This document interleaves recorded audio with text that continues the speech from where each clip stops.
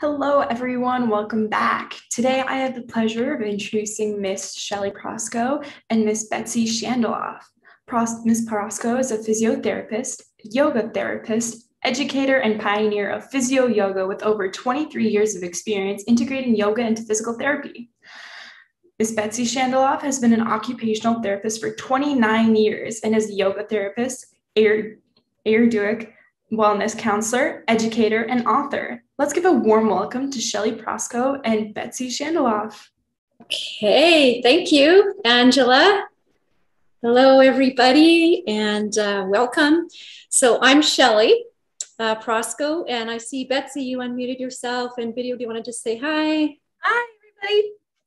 So that's Betsy. Um, so I'm going to speak for the first half of our presentation about my journey of integrating yoga into physical therapy, or as we call it here in Canada, physiotherapy, same thing, and the value of that integration. And then Betsy will speak uh, for the second half, and we'll include some experiential components. Uh, we'll have some resources for you, and then we'll also take questions um, at the end, of course. So Betsy and I wanted to share this all with you. It's sort of a, a fun photo of us. Um, Betsy and I met several years ago. This is us at the Symposium on Yoga Therapy and Research. It's an annual conference put on by the International Association of Yoga Therapists, and it's where many healthcare practitioners come together. Uh, we learn together, we share ideas, we network, and we support each other on this path of integration. And people come from all around the world. We have clinicians and researchers. And of course, this year it was virtual, but we're hoping to be back in person. And I am coming to you today from this place. So I live in Canada. I was born and raised in Saskatchewan, um, Saskatoon, Saskatchewan, and went to school there. But this photo you're seeing is where I reside now, which is Sylvan Lake, Alberta, the province west of Saskatchewan, and it's in between Edmonton and Calgary. Some of you may have heard of, of those big Canadian cities right near the Rocky Mountains, the Canadian Rockies.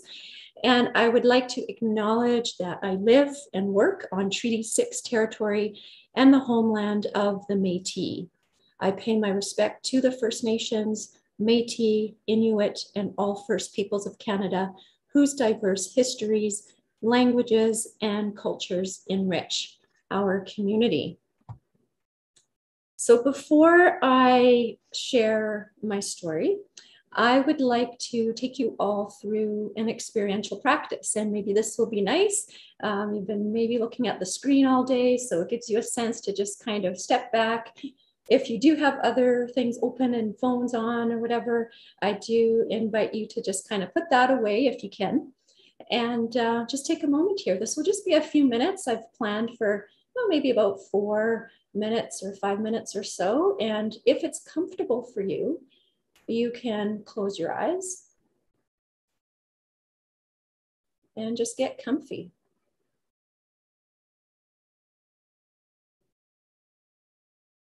And first, just become aware of your overall sense of energy, whatever that means to you. Perhaps it's high, low, medium, or maybe you're not quite sure. That's okay too. But just check in with your energy.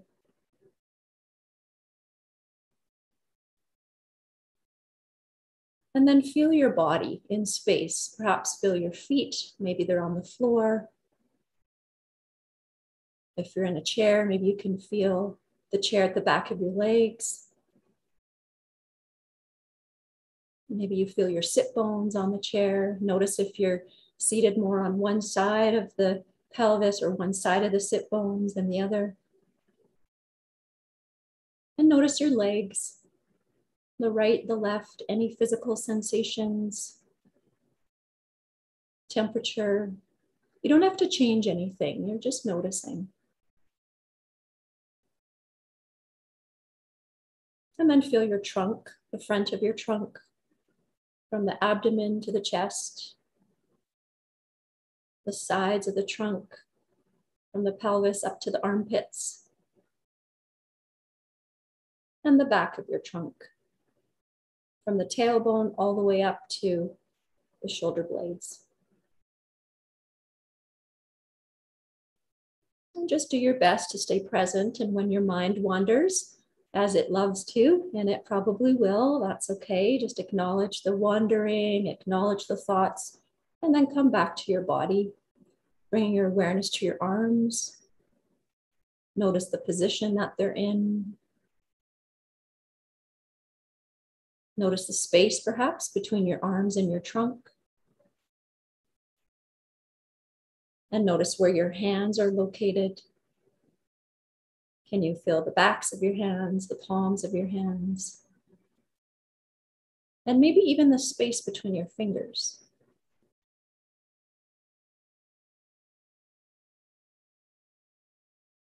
And then notice your throat, the back of the neck.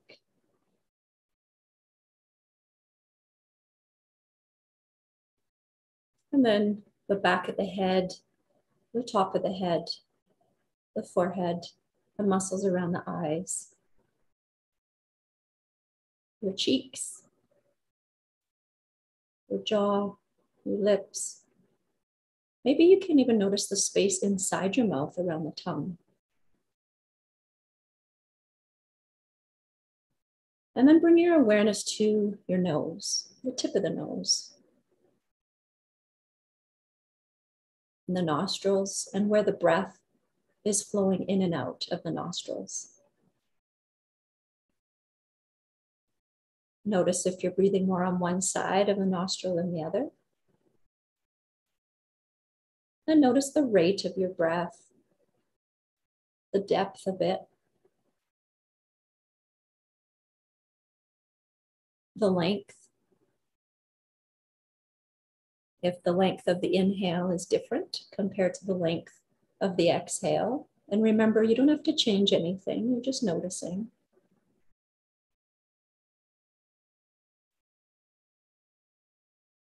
Notice if there's any pause or a space between the inhale and exhale. Or is it continuous?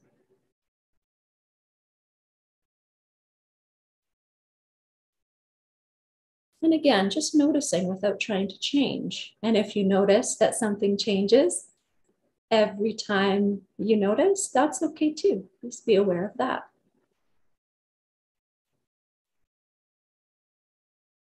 Notice any qualities of the breath, like is it smooth, soft, or maybe it's a bit rigid or bumpy.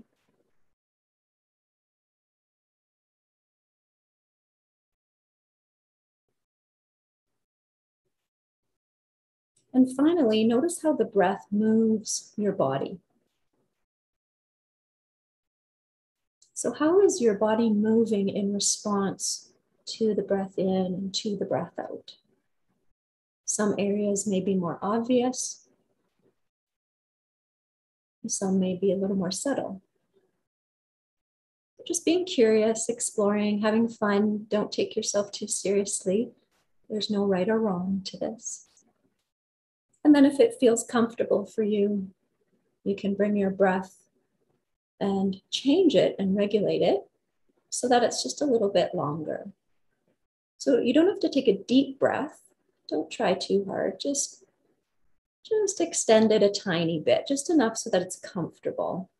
And if it's not comfortable, then just switch it back to where it was. Just seeing, exploring, what does that feel like just to sip the breath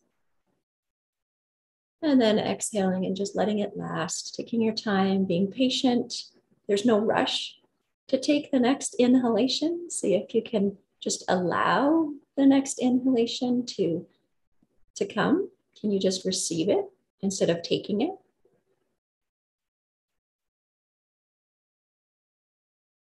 Nice smooth breath, like it's gliding or sliding. Soft, almost like it's curvy, yielding, kind.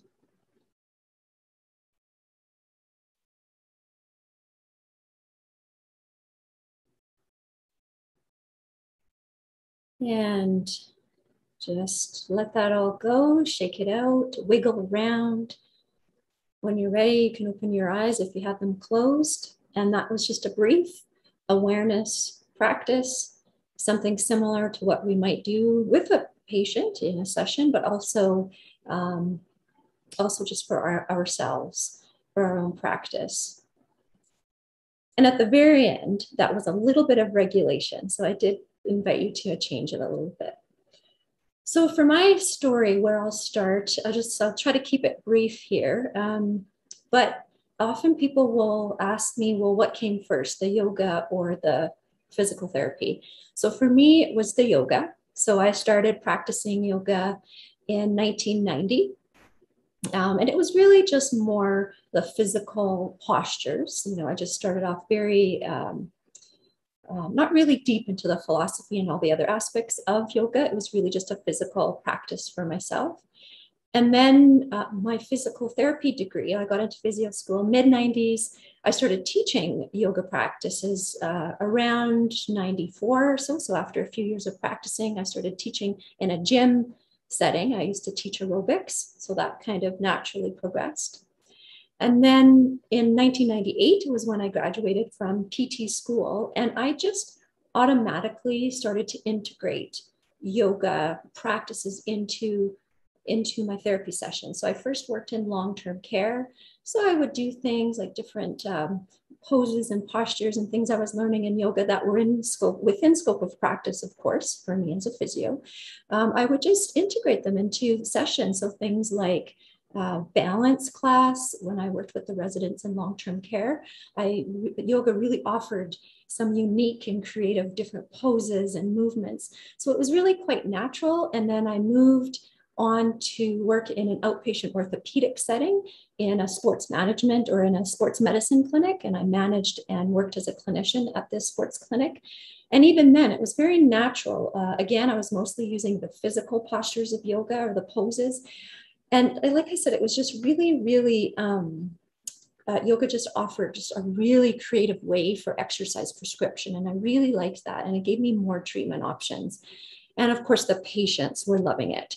And I got a lot of positive feedback, and outcomes were positive, and it just encouraged me to do even more and learn even more about yoga. And then to parallel with that, my own yoga practice was progressing. So I started noticing my own health benefits from my own personal practice. So from when I started in 1990 to now into the 2000s, I just started noticing things, of course, physical, like just moving differently and more ease, more awareness, um, even more joy. Uh, it was helping, seemed to be helping my headaches. Of course, we don't know. There's lots of other factors. I didn't do any randomized control trial or anything, but it seemed that you know some of these long-standing issues I had were changing with this really regular yoga lifestyle. So headaches were better. Um, I had this long-standing upper back pain that I, nothing. I tried everything, and as a physio, I tried all kinds of things, and and so yoga was changing this, and my digestion was changing, uh, my mental health. And again, I'm not painting a picture of perfection. I still have, um, and always will. That's part of being human, you know, having issues and things. But just overall, I, like I said, seem to be a bit more regulated or more able to be regulated. Um, and my relationships like seem to be I don't know, just a little more peaceful. Like I learned how to be more aware and communicate more effectively and more self compassion. That was huge for me. And I'm still learning and I'm still working on it. But that's a big part of yoga is this idea of self compassion. So within ourselves as clinicians, but also um, for our patients, helping them be self compassionate. And then over time, I noticed how breathing really changed how I was moving and just changing breath was changing how my patients were moving. It was influencing their pain. So again, I was just playing and exploring. I didn't know anyone else was really doing this. I was kind of making it up as I went along. Awareness practices that I was learning from yoga, again, was changing how I was moving and showing up in the world. And then as I was sharing this and integrating it into my physio sessions, people started moving differently and their pain started changing just from these awareness practices.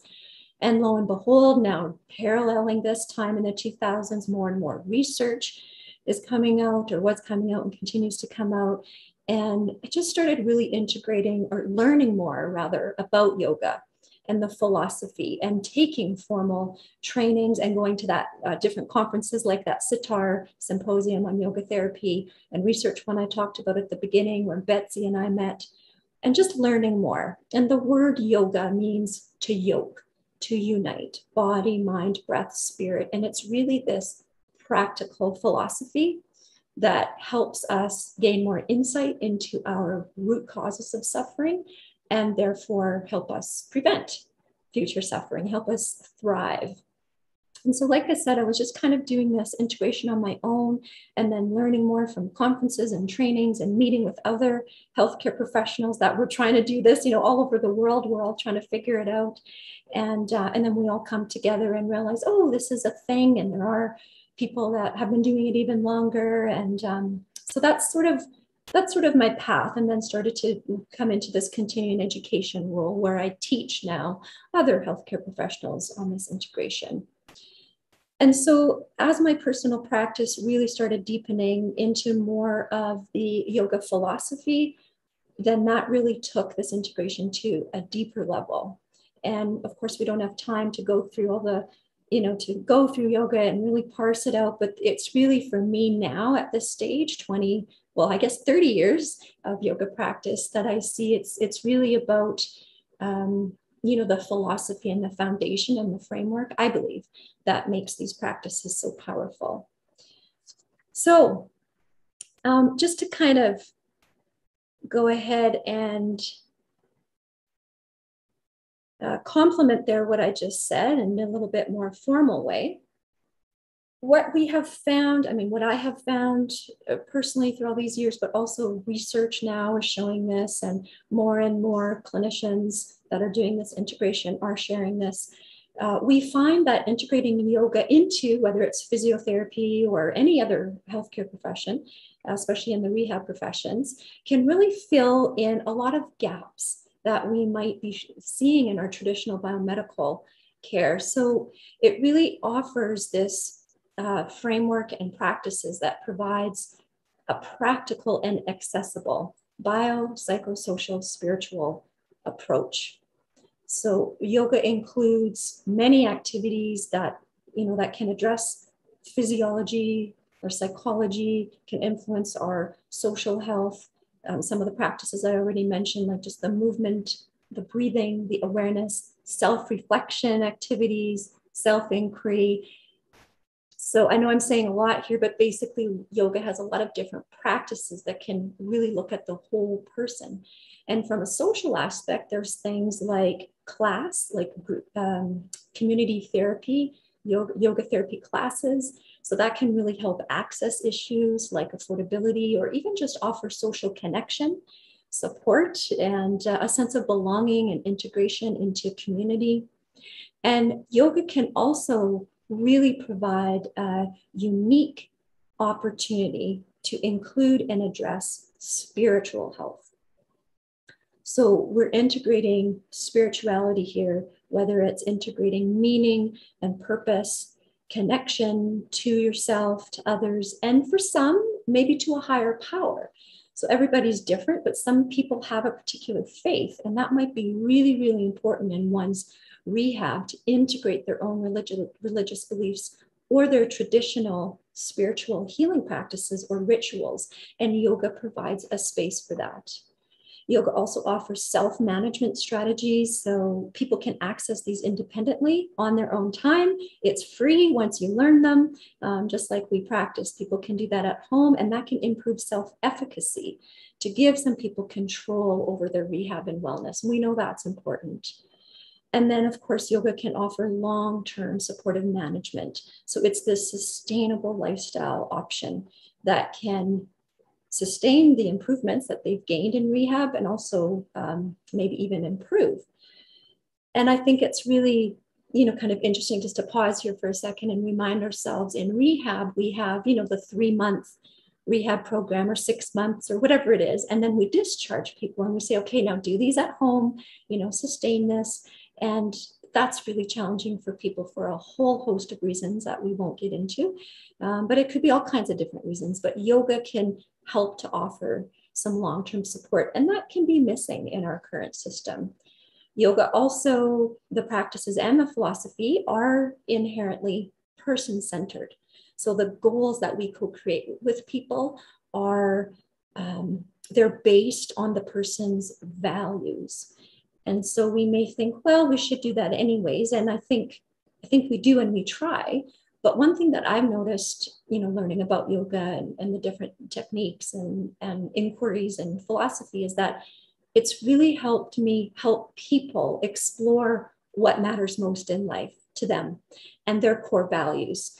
Because we think we may know them, but then when we have uh, an injury or a condition that's life changing, sometimes we lose that and, and things just get flipped on its head. So, this can be a way to help people um, there's a lot of different techniques, like I said, in philosophy that can help us guide people to help them decide, you know, what do they really value so that the goals can be really meaningful and valued. And then I thought I'd put this bullet point in here too, because I think yoga is helping to meet the growing demand. So more and more people are seeking yoga for their health concerns across the world, but especially in North America. So not just for wellness, but also for, you know, things like back pain or whatever health concerns they may have. And more and more healthcare professionals are recommending yoga to patients, not just for wellness, but also as an adjunct to their rehab. And who knows why that's happening? Um, it could be just the popularity, but I think a lot of it, I, my theory is that there's two things. One, more and more healthcare professionals are also doing yoga. So, like my story, we were noticing the benefits. So, we're more likely to say, Hey, have you tried this? But the second reason I think this is really important is because there's more and more evidence that's emerging that's showing yoga is safe and effective for a whole host of different special populations, whether it's musculoskeletal conditions or mental health conditions cardiorespiratory, neurological, different areas of oncology, rheumatology, chronic pain. I mean, the list goes on and on. There's more and more research and um, some good research, systematic reviews and meta-analyses. So um, that could be why it's it's growing. And then, of course, the final point here for how yoga can fill in the gaps, I think it's also because us as clinicians can benefit.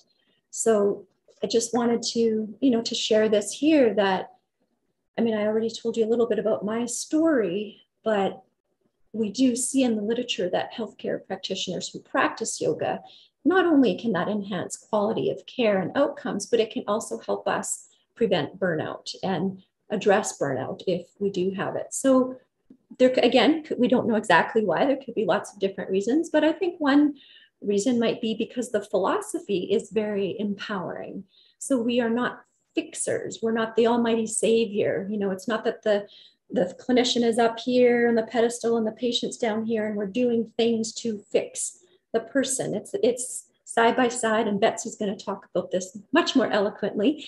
Um, you know, we're side by side co-creating, and we're facilitators of the recovery. There's still models for the fix it. I mean, if you have broken a bone or literally torn a tendon, there are surgeons and there are things that happen to fix something, but we're talking about a rehab process where we help progress people towards health creation instead of just looking about everything what's wrong with the person and all the dysfunctions and air quotes where this philosophy is different. It's looking at what's going well what brings more peace more ease more joy. And we work on this process of salutogenesis which is health creation instead of a kinesio-pathological type model that's looking at all the things going wrong. So it's a different philosophy that can be very empowering for the person as well and then this idea of therapeutic humility. This was this term was coined by Joan Halifax. She is a, an anthropologist and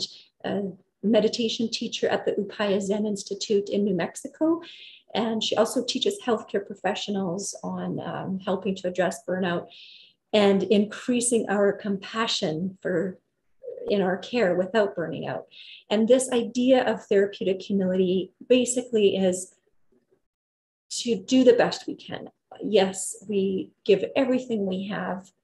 We, we're, in, we're working in service of the person in front of us, also with our own self compassion and our own boundaries.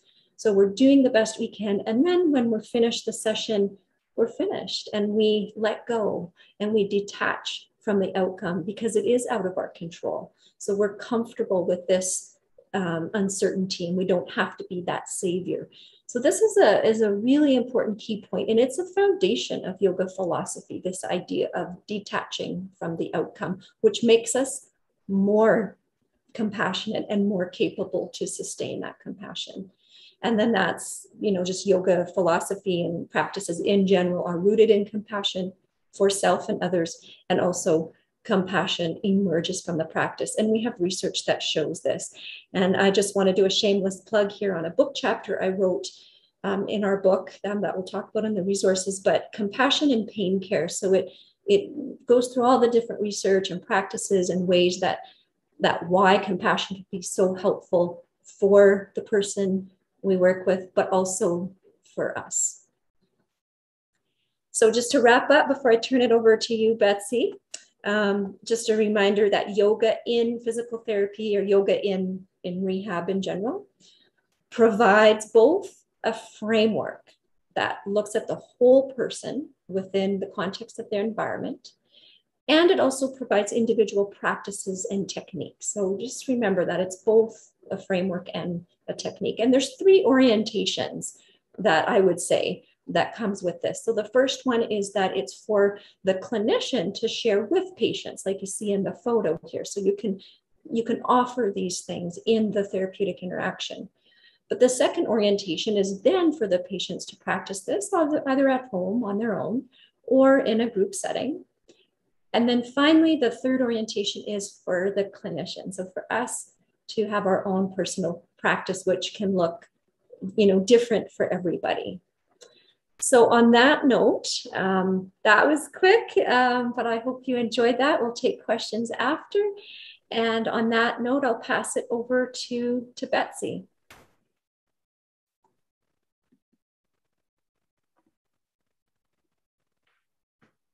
Hi, everyone. Uh, first of all, I just want to uh, thank Angela for all of her beautiful help. Uh, and I'm Betsy Shandalov, and I am an integrative occupational therapist. Uh, I'm going to go on and share my slides, and uh, then I'll come back and share my personal story.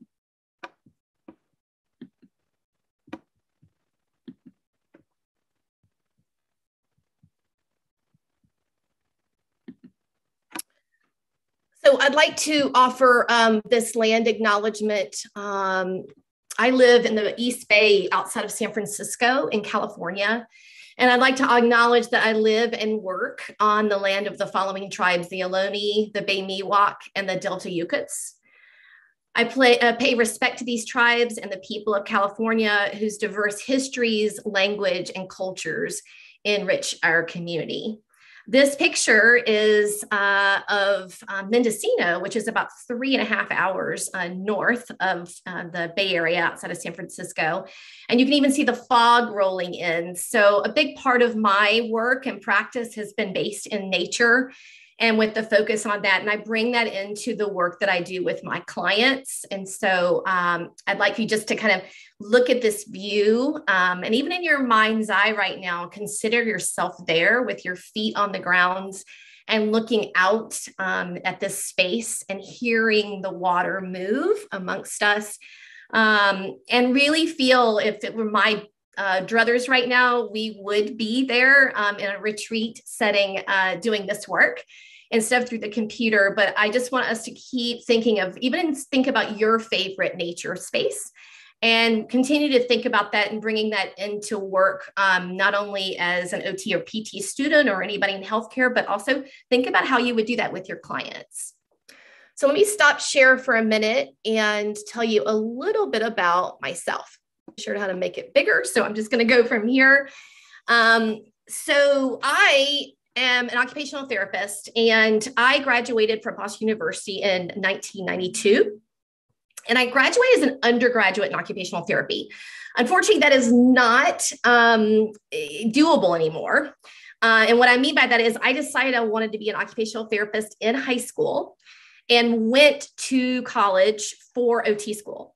And I graduated in four years. And then I did two three month internships, um, one in mental health and one in physical disabilities. And then I went on to work at Duke Medical Center, which is a fast paced acute teaching hospital in Durham, North Carolina. And a reason why I bring it up is it's fast paced. And I don't think that I was aware of what that was going to be like um, and how many patients I would be seeing at a time.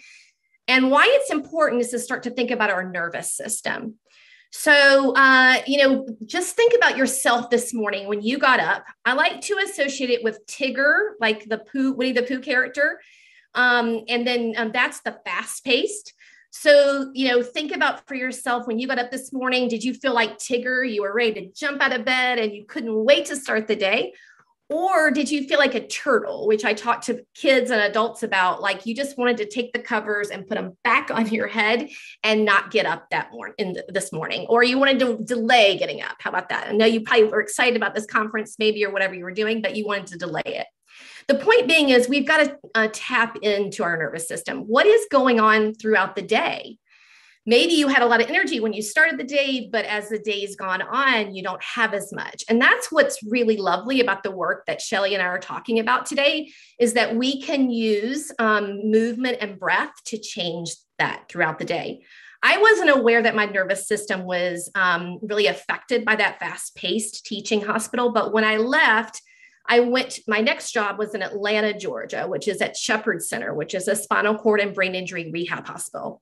What's cool about it is the minute I walked in, it feels very different. It was started by a family whose son was injured with a spinal cord injury. And when you walk in, it feels like family. Not only working with the therapist felt like family, but it was quieter, it was healing, and my nervous system instantly changed. I felt the minute I walked in the door. So I was at Shepherd Center um, uh, for about six years. And then my husband and I moved to California, where we live now. And we brought one daughter with us. And then uh, we had two more daughters pretty quickly after that. And the reason why I bring that up is because that affected my nervous system. Um, my daughters now are 17, 19, and 21. But the reason why I bring that up is my middle daughter is the reason why I got into this work. So Shelly talked about that she started yoga um, first. I did yoga in occupational therapy school actually and got the best grades um, that year and, and further. And then I also did yoga through the births of my daughters, but never considered being a yoga teacher. And what happened was my daughter, that um, my middle daughter, really, um, we didn't realize it, but when, as time went on, when she was about three or four, we realized she was a sensory kid which means, and you may actually have some of these things, um, the tags in her clothes bothered her. Uh, sound, uh, she was highly sensitive to sound. Um, and her nervous system was overloaded. And I knew that we really, I didn't know, here I was an occupational therapist, but I did not know how to help her. And I really felt like I needed to search for that. So I went to the island. Um, we went on vacation and we took the, um, I, t- I told my husband I wanted to take three mornings of our vacation on the island of Kauai. This was 14 years ago. Um, and I was going to see all the healers on the island. One person I met with was an Ayurvedic practitioner. And she said, Have you ever considered being a yoga teacher? Well, as luck would have it, um, I had not, but I followed that lead. And I feel like all of this becomes a journey. You keep doing more and more to keep learning. And my journey led me back to our hometown. And literally a week later, an Iyengar teacher training was starting. And as I sat in that, pra- that um, training, I realized this is therapy. This is what I've been doing all along. I also, um, right after that, um, I started teaching uh, yoga classes for adults, but I also got my yoga kids training and started to work with uh, families and kids using occupational therapy and yoga. And then um, as time went on, I started to realize that my clients were really searching um, for the connection between the mind, body, spirit and more and more trauma was being released or stress and anxiety as I would treat my patients, especially with shoulder injuries or neck injuries.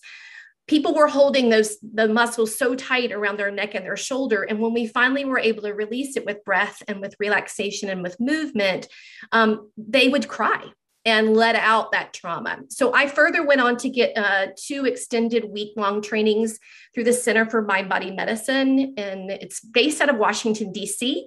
But I uh, was fortunate enough that the program was brought out to California, so I got to do that here.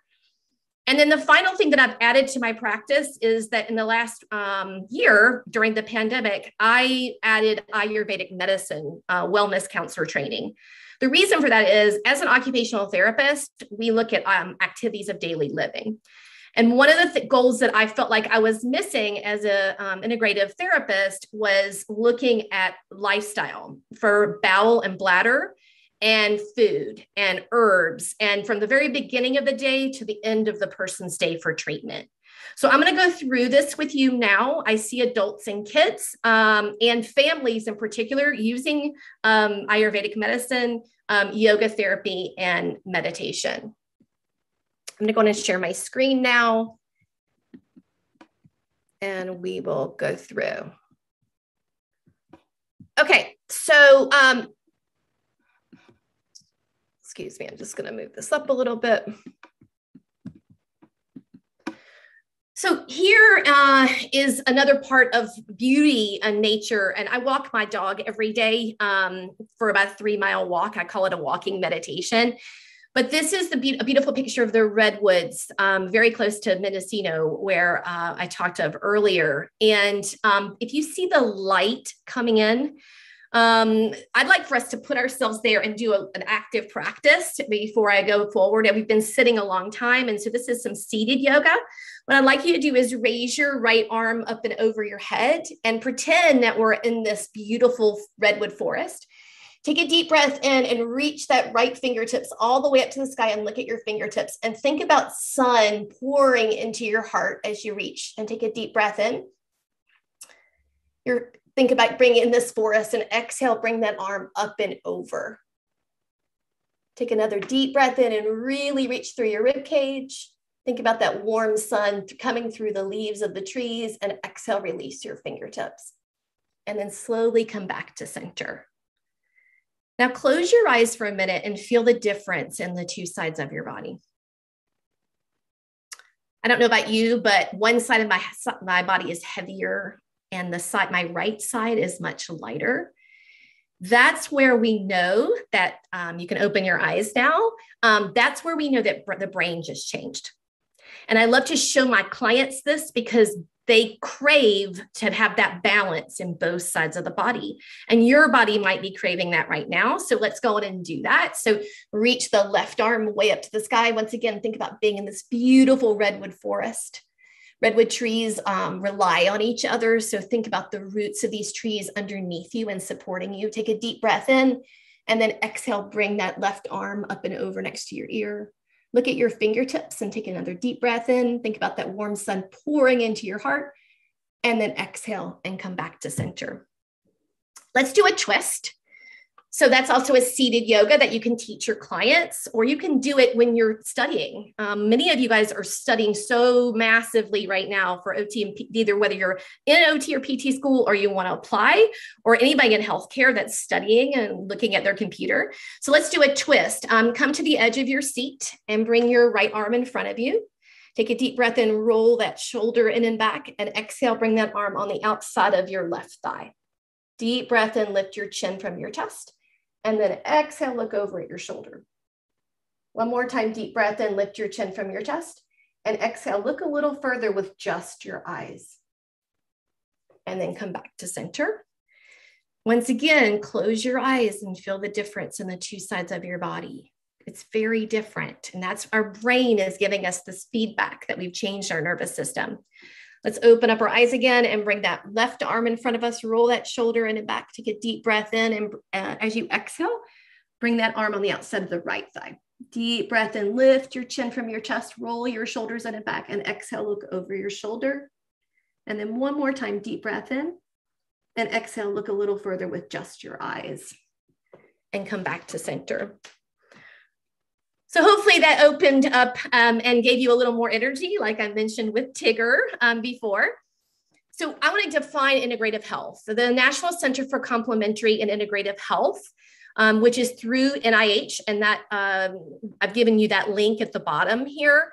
Um, it's defined as integrative health begins, uh, brings conventional and complementary approaches together in a coordinated way with emphasis on treating the whole person rather than an organ system. And that's what integrative health is really looking at.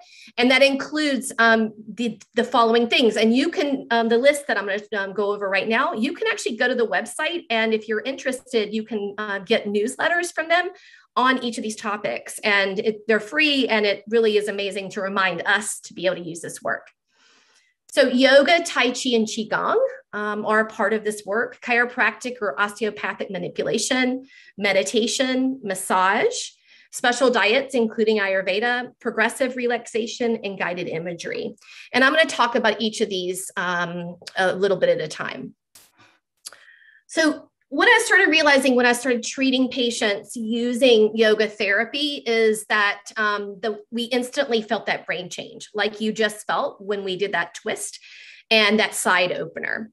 Teaching clients to release their stress and trauma and anxiety through yoga and movement and breath, then in turn allows them to release that um, trauma from their body, but also changes their nervous system. And I like to give an example. Um, if you think about it, the fight or flight response is where, you know, a tiger is running through the tundra to um, get its prey. Um, what we know in science now um, through research is that if our body stays in that stress mode and stress and anxiety all the time and stays with adrenaline constantly being released from our body and cortisol, um, we are um, in a freeze state. And um, that is not good for releasing um, trauma. what we need to do is change from that freeze state to a relaxation state, and that allows the body to change from that fight or flight to a relaxation response. We still need stress to be able to get through our day, sometimes to get a, an assignment completed, but we can't stay in that state. And that's what we've really started to realize through maybe guided imagery, like I just took you through, like being in the middle of the, the woods and really thinking about being there, even though you're not physically there that meditation of seated or walking studies are really showing now that um, we're using MRIs to look at yoga and how it changes the brain. And you can look online to see that. We are also seeing how we use MRIs to see how meditation is changing the brain. And it is unbelievable. In 20 days of doing a 20 minute meditation, we can completely change the brain and the way our face looks. So you can look online and see how people literally change the way they look just because they meditate 20 minutes a day. Um, and I like to do um, walking meditation as well as seated. Um, I just think even being in nature, um, we realize that now that there are chemicals, neurotransmitters that are released in nature to be able to heal our nervous system. And I just wanted to offer the Center for Mind Body Medicine um, website because that's where I worked on with trauma. And I'd encourage you to look at that website if you yourself, especially after this year with stress and anxiety, there's so many um, links to be able to help you and your clients, um, your future clients, with our nervous system and stress what I believe is helping our clients to understand what they need in the beginning of the day and at the end of the day. Um, you're going to see two pictures here of restorative yoga poses, one with an adult and one with a child. Um, what is most important to me is uh, that uh, in a restorative pose, we don't move, we just breathe, and we use props to support our body. The adult that you see up top um, also has a support of the eyes. And I don't know if any of you have ever used an eye pillow before, but we've studies are showing that if you put a one pound weight on your eyes, like this eye pill, this has beans in it, it can have rice, it can have flaxseed. It instantly brings on the relaxation response and actually has a connection with the vagus nerve, which is a scientific piece of all this, and that um, that's the um, the second longest nerve in the body, and it brings relaxation not only to our heart and to our rib cage and to our lungs, but most importantly, the gut. So if you have gut issues, with bowel and bladder and those issues, that really bringing on the relaxation response is something to really consider. And I just use this on my eyes before I go to bed at night and work on some diaphragmatic breathing. And that's what you can see here with support. Um, let's just do that. So just um, take a deep breath in, fill your belly with breath, and then exhale and guide your belly button in towards your spine. One way that I also do it is something called Take Five, and I have taught teach the client my clients, their the parents of kids I work with, as well as I do it and um, everywhere I work. Um, is I take five before I see my clients and I take it breath breathe with them and after I leave to get rid of their energy so I don't carry that in my body. So put your hand up like this um, with a fist and then take a deep breath in and bring each finger up and then exhale, bring each finger down. And it's really important that um, in families and with your roommates that they might sense that you are stressed. But if you can teach them, to, all of you to breathe together, just to take five, um, it can really change um, how you think and the way you um, work. So, helping my clients find rituals morning and night are really important to me. Uh, and uh, I'll speak a little further about that in just a minute. And then I call it the three H's. Before I get up in the morning um, and before I reach for my phone, I give myself uh, self care by giving myself a deep breath in for a count of three and breathing out for a count of six. When we elongate the and double the exhalation, we bring on the relaxation response. And then I say to myself, may I be happy, healthy, and helpful. So um, let's take a deep breath in and think to yourself, may I be happy? And exhale. Take a deep breath in and think about, I may I be um, health, healthy, and take a deep breath in and exhale. And may I be helpful. Take a deep breath in and exhale. So, this work that you are doing as an OT or PT, you are being helpful. And then the final picture down here is a child who is in child's pose in a restorative yoga pose. And I call that turtle for kids. So they breathe in their turtle back and the stuffed animal on their back. They give the stuffed animal a ride and it allows them to get some um, re- restoration that way and takes their eyes out of the equation, which is really helpful for kids. So with integrative um, OT, before using these techniques, I had no tools in my toolkit, in particular for patients with chronic pain and trauma. Now I love working with people with trauma and chronic pain because I now can show them that we, with breath and movement, can get out of what's troubling and what feels chronic to them by changing the way we live and move throughout the day. Now I draw my OT roots, and once again, you see these beautiful redwood trees. Um, and then I combine integrative techniques and we heal together. I breathe with my clients. It changes everything. When I used to rehab a shoulder before I learned integrative medicine, it, I did not breathe. I just let, worked with my client with range of motion and didn't breathe with them. It's huge when you do that. We move together. I do the yoga poses, the same thing I'm doing with my client. We do it together. And then that gives us both self care. And we teach our brain to change around that throughout the day. Now, the other thing that I um, added was uh, the Ayurvedic medicine. And I mentioned um, a little bit that I saw an Ayurvedic practitioner um, to get guidance about where I wanted to go with my daughter. So, um, Ayurveda is a sister science with yoga. It comes um, the Indian um, culture, and it's a Sanskrit use. Uh, they use the Sanskrit language, and it means the wisdom of life, not life, or the lo- knowledge of longevity. We look at diet modifications, um, lifestyle adjustments, herbal supplements, and cleansing processes. And that could take a whole other course, which I actually teach on Ayurvedic medicine. But what we, we look at is every one of us has a, a body consistency or a constitution. Usually it's a mixture of two. Um, pitta, kapha, and vata are the body constitutions. Pitta is fire, kapha is earth, and vata is air. And everything from our bowel and bladder, the food we eat, and the movement and types of yoga classes we should take are embodied in knowing what our constitution is. So when my clients come to me, I actually offer them an entire evaluation of looking at what their body type is and give them a plan for everything from bowel and bladder all the way through their lifestyle through the day. If you're interested in knowing what your body constitution is, you can go to banyanbotanicals.com and it further will give you some of this information. It's free and um, I send it to my clients. And then finally, whoops, um, just the last slide that I have to share because it's about, I'm about out of time, is that I want to talk more about my wish for the future in healthcare. My wish for the future is that we understand that we help each other to heal. Um, we help our clients to heal and we heal at the same time. Um, this picture that you see here of the hummingbird, I don't know if you know much about hummingbirds, but they they move very, very fast. What's amazing is they also sleep. And it takes a hummingbird from 20 minutes to an hour to rejuvenate after they've slept. We all need to take that in. Sleep and rest, restorative yoga, and breathing can give us that energy that we need to do our work, but also relieve stress and anxiety. Um, let's take five one more time, um, and then I will be uh, done with my part of the presentation. So take a deep breath in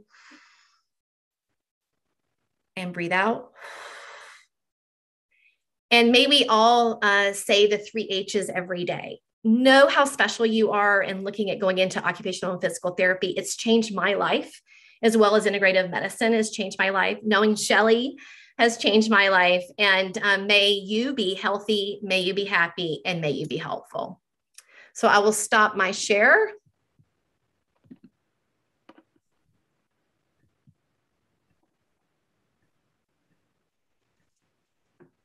Perfect. Okay, that's great. So um, just we need uh. We have time for a few questions.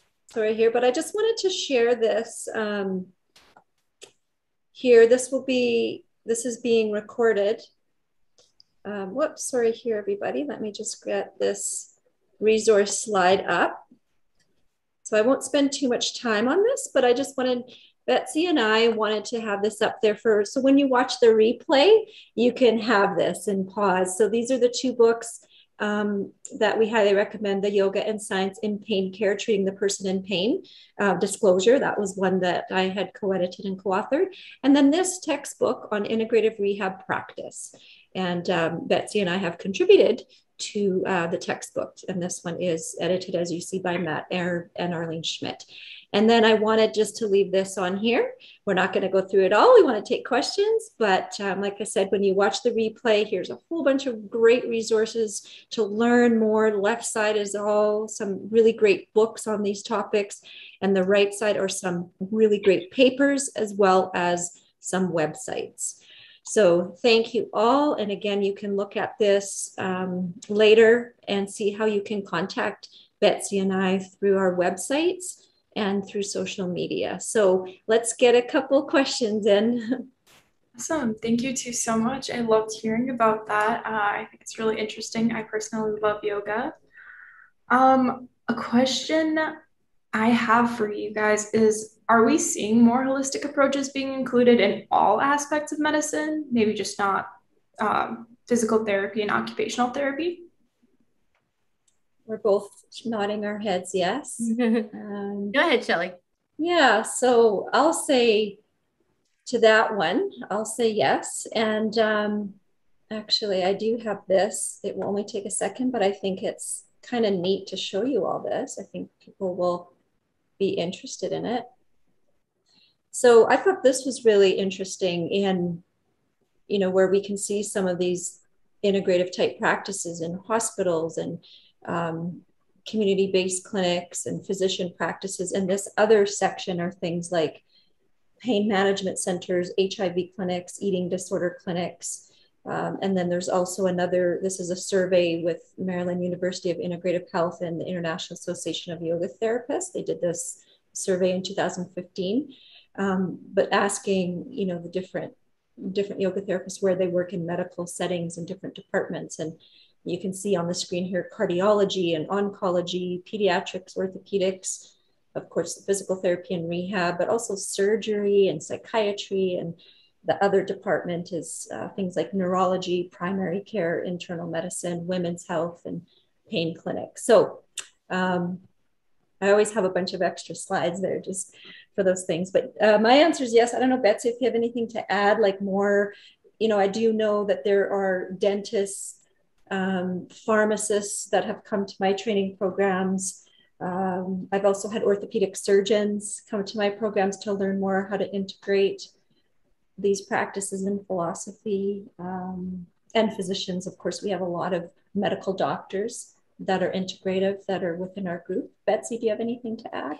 Well, and just the when I got my training, uh, the two different weeks trainings through the Center for Mind Body Medicine, many of them were physicians.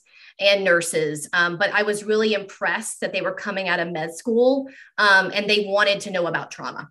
And so that's what's exciting. Um, whether you're a psychiatrist or a doctor or a nurse, um, more and more of us are realizing that we need this work to not only heal our clients, um, help them, but for ourselves. Perfect. Thank you guys so much. Uh, this we're coming to an end for our session. Um, thank you again for your topic, and it was really interesting. I really enjoyed listening to it. Um, next on, on our roster, we have an overview of dentistry and healthcare in five minutes. So please stay tuned for that. Thank you, everyone. Bye. Thank Bye. you. Thank you.